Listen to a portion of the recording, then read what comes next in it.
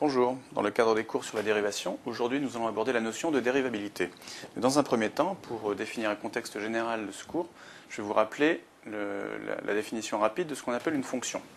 Donc, une fonction que l'on note f est un opérateur qui a un x réel que l'on appelle l'antécédent, associé automatiquement un autre réel que l'on note f de x et que l'on appelle l'image.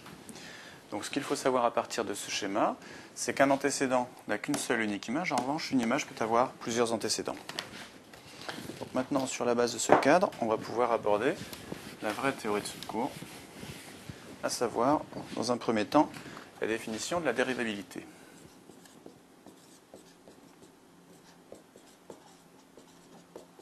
Donc qu'entend-on par dérivabilité? Pour répondre à cette question, on définit comme cadre la définition, on considère une fonction f, je vais tout écrire, soit f, une fonction réelle définie sur un ensemble de définitions grand D. On considère un réel A qui appartient à cet ensemble de définitions. Donc à partir de là, on va dire que la fonction réelle f est dérivable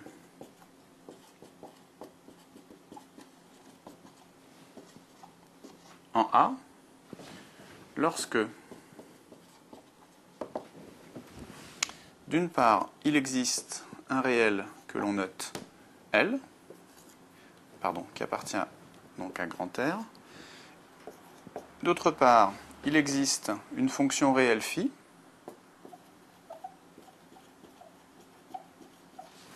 donc phi une fonction réelle. Donc les deux tels que pour tout réel h non nul, donc pour tout h élément de R étoile, h vérifiant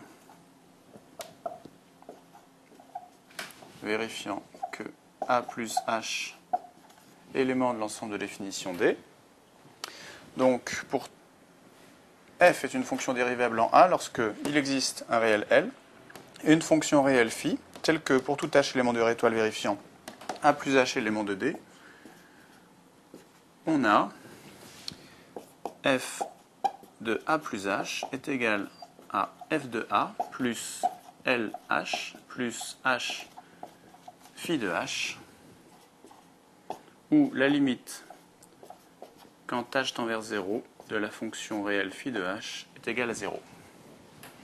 À ce moment-là, on dit que le réel L est le nombre dérivé et le nombre dérivé de la fonction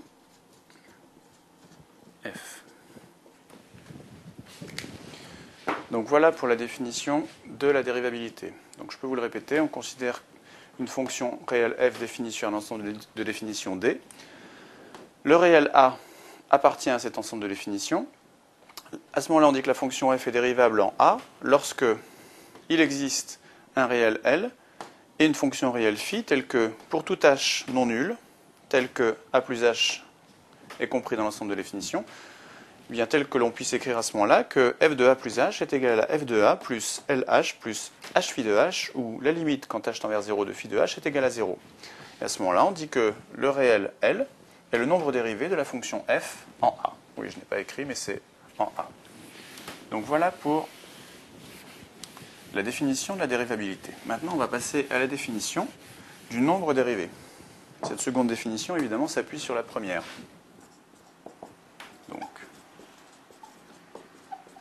Le nombre dérivé. Donc quel est le cadre de cette définition?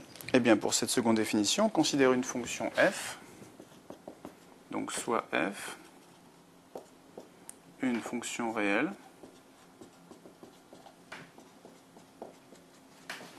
définie sur un ensemble de définitions grand D. On va considérer le réel A élément de D et on va considérer le réel H non nul, donc H élément de R étoile, qui vérifie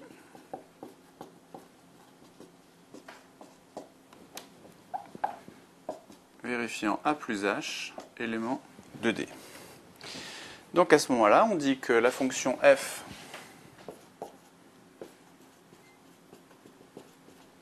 la fonction f admet en A le nombre dérivé L, je vais l'écrire comme ça, lorsque la limite quand h tend vers 0 de l'expression f de a plus h moins f de a sur h est égale justement à ce nombre dérivé L. Donc voilà la définition du nombre dérivé d'une fonction réelle f en A. Maintenant, dernière rubrique de ce cours, la rubrique attention, qui a simplement pour but de vous mettre en garde sur un point, à savoir que dès l'instant qu'on aborde un problème de dérivation, et ici en particulier euh, une notion de dérivabilité d'une fonction, eh bien on a affaire à une fonction réelle. Qui dit fonction réelle dit que avant d'étudier quoi que ce soit au sujet de cette fonction, il faut absolument s'intéresser à son ensemble de définitions. Effectivement, il est hors de question d'étudier la dérivabilité d'une fonction en un certain point, en un certain réel, qui n'est pas compris dans son ensemble de définitions. Donc, toujours avoir comme réflexe, dans un premier temps, que la question soit posée ou pas, d'étudier l'ensemble de définitions d'une fonction avant d'aborder, ben, ici par exemple, sa dérivabilité. Donc, on va mettre en application ce cours à l'occasion de quatre exercices, dont le premier a pour énoncé la fonction réelle f définie par x a pour image ax carré plus bx plus c est-elle dérivable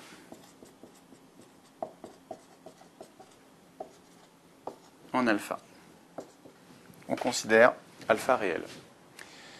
Donc premier réflexe, on a une fonction réelle. Donc avant même de s'intéresser à sa dérivabilité, je vous renvoie à la rubrique attention, on va s'intéresser à son ensemble de définitions. Donc pour ce faire, euh, on a mis en ligne un cours qui traite des fonctions réelles et en particulier des notions d'intervalle et d'ensemble de définition. Cours que je vous invite à voir, cours dans lequel vous verrez que la fonction f est définie sur grand R. Donc f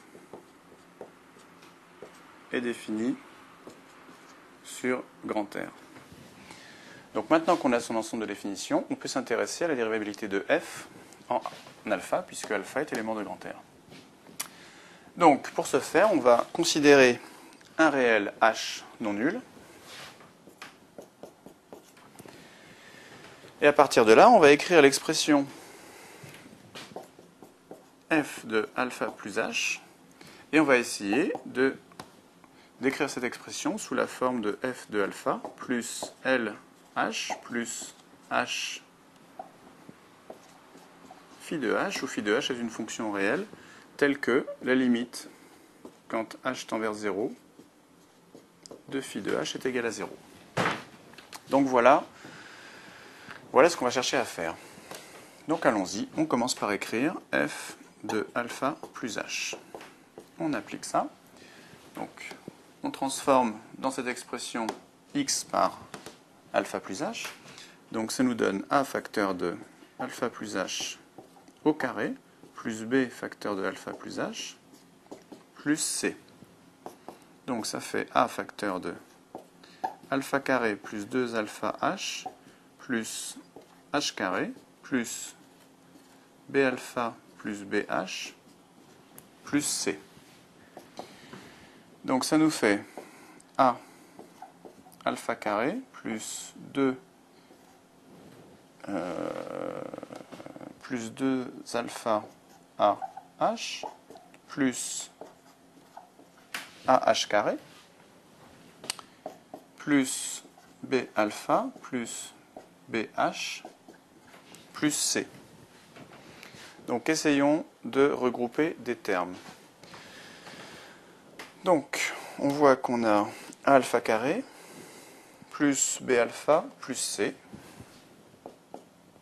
Donc alpha carré plus B alpha plus C. Donc on s'est occupé, je vais le mettre en couleur, de ce terme-là, ça et ça. Donc maintenant on va prendre les termes en facteur de h. Donc plus 2a alpha plus b, tout ça facteur de h. Donc là je me suis occupé de ça, donc plus 2a alpha facteur de h, plus bh. Et il nous reste un terme en h carré, plus a h carré. Donc ici, pour quelle raison ai-je écrit ça? Eh bien, parce que quand on regarde cette expression, on reconnaît en fait celle-là où x a été remplacé par alpha. Donc on peut écrire que cette expression-là, c'est égal à f de alpha plus, je recopie ça, 2a alpha plus b facteur de h plus, là on a du h carré, donc on peut écrire que c'est h fois AH. Alors qu'est-ce qu'on cherche? On cherche f de alpha, on l'a là. On cherche quelque chose facteur de h, donc quelque chose facteur de h, et on cherche h phi de h. h phi de h. Donc on voit ici que la fonction phi de h, c'est la fonction qui a h, donc phi est la fonction qui a x associe à x, donc qui a h associe à h, et on voit que la limite quand x tend vers 0 de ax est égale à 0. Si vous avez un quelconque doute sur les notions de limite, je vous renvoie euh, vers les cours qui traitent justement de toutes les opérations sur les limites que vous pouvez avoir à disposition en ligne. Donc, on voit bien que la fonction phi est une fonction qui tend vers 0 quand x tend vers 0. Donc, on a f de alpha plus h est égal à f de alpha plus quelque chose facteur de h plus h phi de h tel que la limite quand h tend vers 0 de phi de h est égal à 0. Donc ça signifie que le coefficient facteur de h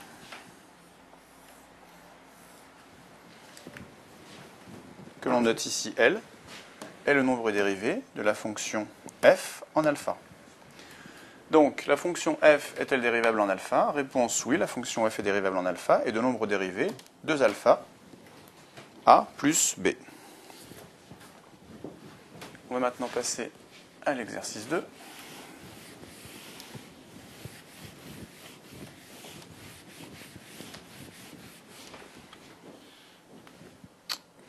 Alors, dont l'énoncé cette fois est la fonction f qui a x associe 4x carré moins 3x plus 7 est-elle dérivable en 2 Alors, premier réflexe, toujours, la, enfin, je vous renvoie à la rubrique attention. Avant de s'intéresser à la dérivabilité de cette fonction f, il faut s'intéresser à son ensemble de définitions. Donc ici encore, f est une fonction définie sur grand R. Donc maintenant, on peut s'intéresser à la dérivabilité de cette fonction. Donc pour ce faire, on va considérer un réel h non nul et on va écrire f de. Donc là, on s'intéresse à la dérivabilité de f en 2. Donc on va écrire f de 2 plus h. Et on va chercher à écrire cette expression-là, donc que l'on va déterminer ici, sous la forme f de 2 plus lh plus h phi de h, où phi de h est une fonction réelle dont la limite quand h tend vers 0 est égal à 0. Donc voilà ce que l'on cherche à faire. Donc allons-y. On écrit f de 2 plus h. Donc f de 2 plus h, on remplace dans cette expression x par 2 plus h. Donc ça nous fait 4 facteurs de 2 plus h au carré, moins 3 facteurs de 2 plus h, plus 7. Donc ça nous fait 4 facteurs de 4 plus 4h euh, plus h carré, moins 3 fois 2, 6, moins 3h, plus 7. Je développe, ça fait 16 plus 16h plus 4 h carré, moins 6, moins 3h, plus 7. Donc 16 moins 6, 10, plus 7, 17. 17 euh, plus 13h plus 4 h carré. Alors, on cherche à écrire cette expression, que l'on obtient comme ça, sous cette forme-là. Donc, on a ici euh, un coefficient facteur de h. Est-ce que c'est notre L? C'est ce qu'on va voir. Et on a ici 4h carré. Donc le 4h carré, on peut d'ores et déjà l'écrire sous la forme, je vais effacer, h fois 4h. Puisqu'à ce moment-là, on verra qu'on a h ici, phi de h qui est égal à 4h. Donc ça veut dire que phi est la fonction qui, à h par exemple, associe 4h. Et on voit que la limite quand h tend vers 0 de 4h est égale à 0. Quand h tend vers 0 de 4h est égal à 0. Donc ici, on a notre h phi de h. Donc, on voudrait obtenir f de 2, mais on ne connaît pas la valeur de f de 2. Donc on va calculer f de 2. Donc pour ce faire, on va remplacer x dans cette expression par 2. Donc ça nous fait 4 fois 2 au carré, 4, moins 3 fois 2, plus 7. Ça, ça nous fait 16, moins 6, plus 7, c'est-à-dire 16 moins 6, 10, plus 7, 17. Donc f de 2 est égal à 17. f de 2 est égal à 17, ce qui nous permet d'écrire qu'on a ici f de 2 plus 13h plus h. On a dit que ça c'était phi de h. Où la limite, quand h tend vers 0, de phi de h est égale à 0. Donc on a bien une, expression de f de 2 plus h qui est égale à f de 2 plus lh plus h phi de h. Donc ça veut dire que le nombre dérivé de la fonction f en 2 est égal à 13. Passe maintenant à l'exercice 3.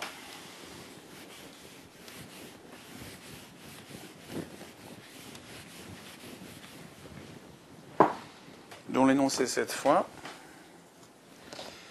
est la fonction f définie par x a pour image 3x plus 1 facteur de 2x moins 5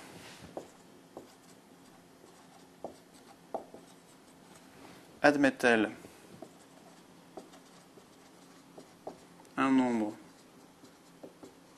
dérivé en 2.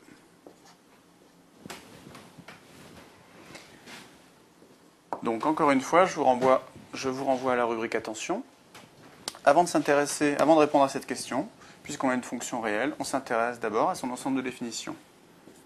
Et si vous allez voir le cours qui est en ligne sur les, ensembles, de définitions, vous y verrez que la fonction f est définie sur grand R. Donc maintenant qu'on a l'ensemble de définitions, on peut s'intéresser au nombre dérivé de la fonction f en 2. Donc pour ce faire, on considère un nombre réel h non nul et on va calculer la limite de l'expression f de 2 plus h moins f de 2 sur h. Donc je vous propose dans un premier temps de calculer cette expression pour ensuite en déterminer la limite quand h tend vers 0. Donc f de 2 plus h moins f de 2, oui, ben on peut tout calculer en même temps en fait. Donc on remplace dans cette expression x par 2 plus h. Ça nous fait 3 facteurs de 2 plus h plus 1. Tout ça facteur de 2 facteurs de 2 plus h moins 5 moins f de 2. Donc on remplace x par 2. Moins, ça va nous faire 3 fois 2 plus 1 facteur de 2 fois 2 moins 5. Donc tout ça sur h. Alors, c'est égal à 3 fois 2, 6, plus 3h, plus 1. Facteur de 2 fois 2, 4, plus 2h, moins 5. Tout ça moins 3 fois 2, 6, plus 1, 7. Facteur de 2 fois 2, 4, moins 1, 5. Euh, pardon, 2 fois 2, 4, moins 5, moins 1. Donc 7 fois moins 1. Tout ça sur h. Donc c'est égal à 7 plus 3h, facteur de 2h moins 1, plus 7, tout ça sur h. Donc, euh, je vérifie, est-ce que j'obtiens la même chose? Donc on va développer. Ça va nous faire 7 fois 2h, 14h. Je vais écrire un petit peu mieux. 14h euh, plus 6h carré moins 3h moins 7 plus 7 sur h. Donc ça, ça disparaît. Donc on peut du coup tout simplifier par h puisqu'on a h, h carré, h et h. 14 moins 3, ça fait 11. 11 plus 6h. Voilà, donc maintenant on cherche, on a l'expression, et on cherche la limite. Donc ça c'est égal, je vais les réécrire ici, à f de 2 plus h moins f de 2 sur h. Et nous on veut la limite, quand h tend vers 0, de cette expression-là. Donc on va prendre un petit peu de place, je vais effacer tout ça. Donc on a obtenu 11 plus 6h. Je vais l'écrire là. Ça va nous permettre d'effacer ça. Donc je répète, on veut la limite quand h tend vers 0 de cette expression-là. Donc ça signifie que la limite quand h tend vers 0 de f de 2 plus h moins f de 2 sur h, c'est égal à la limite quand h tend vers 0 de 11 plus 6h. Donc quand h tend vers 0, 6h, ça tend vers 0. Donc la limite de 11 plus 6h, c'est égal à 11. Donc ça signifie que la fonction f, qui a x associé 3x plus 1 facteur de 2x moins 5, admet effectivement en x égale 2 un nombre dérivé qui est égal à 11. Maintenant, quatrième et dernier exercice.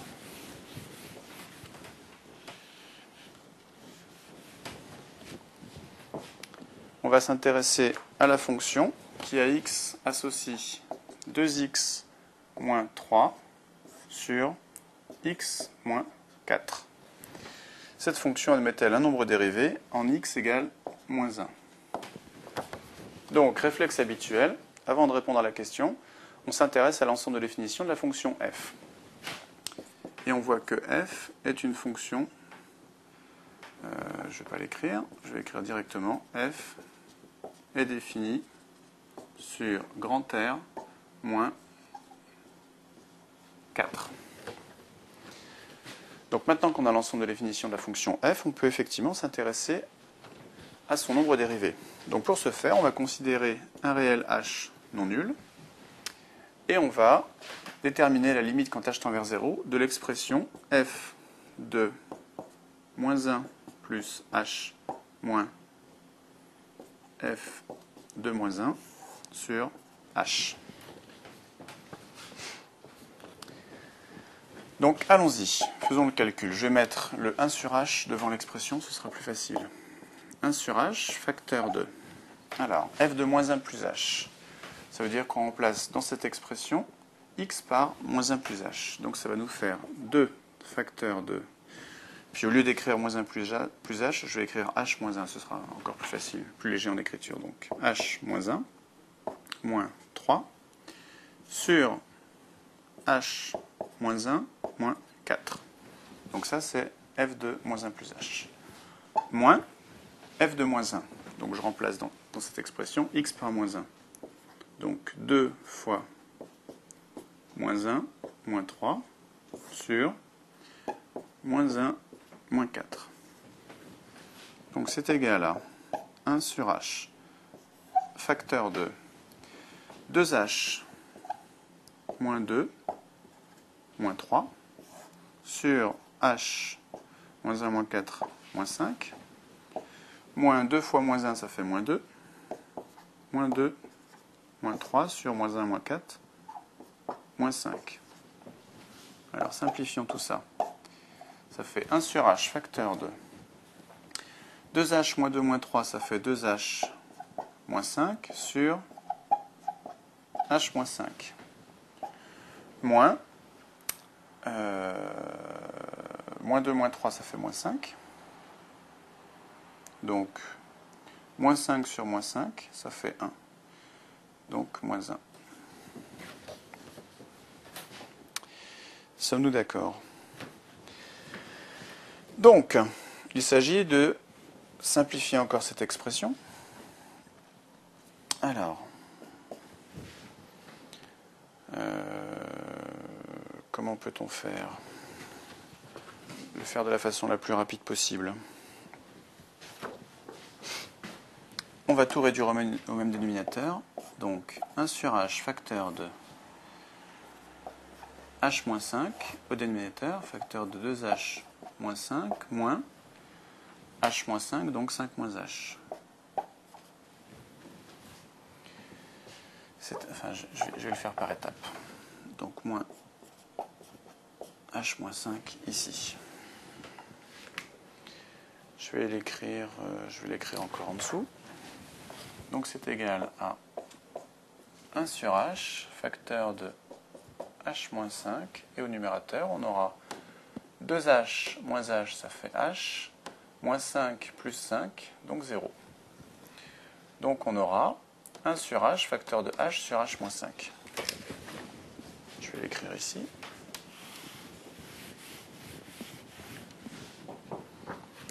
Donc 1 sur h, facteur de h sur h moins 5. Ce qui se simplifie comme ça. Donc on a 1 sur h moins 5. Donc voilà l'expression simplifiée. Or, nous, nous recherchons la limite quand h tend vers 0 de f de moins 1 plus h moins f de moins 1 sur h. C'est égal à la limite quand h tend vers 0 de 1 sur h moins 5. Alors que se passe-t-il quand h tend vers 0 eh bien ce terme-là tend vers 0. Et donc la limite, c'est égal à moins 1 cinquième. Conclusion, la fonction qui a f, la fonction f qui a x associe 2x moins 3 sur x moins 4 admet effectivement un nombre dérivé en moins 1, et ce nombre dérivé est égal à la limite quand h tend vers 0 de f de moins 1 plus h moins f de moins 1 sur h, c'est-à-dire moins 1 cinquième. Donc voilà qui termine ce quatrième et dernier exercice. Et par la même occasion, qui termine ce cours sur la dérivation qui porte en particulier sur la notion de dérivabilité. Donc je vous dis à bientôt pour d'autres cours sur la notion de dérivation ou d'autres cours de ce programme de première. Au revoir.